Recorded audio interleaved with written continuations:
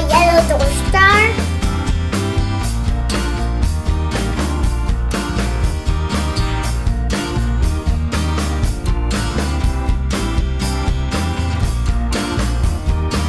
Sun is so huge. It's a burning ball of gas.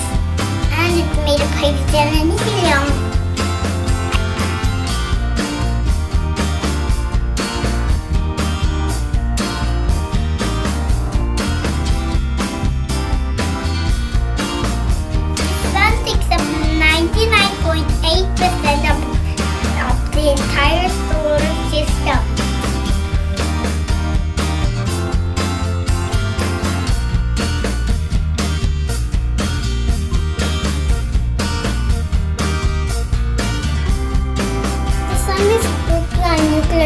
golden process when two hydrogen atoms clump together to form helium atoms.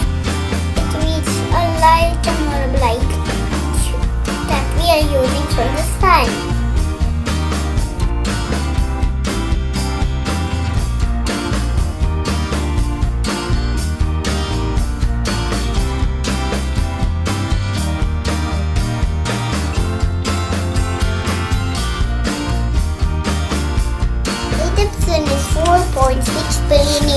wait.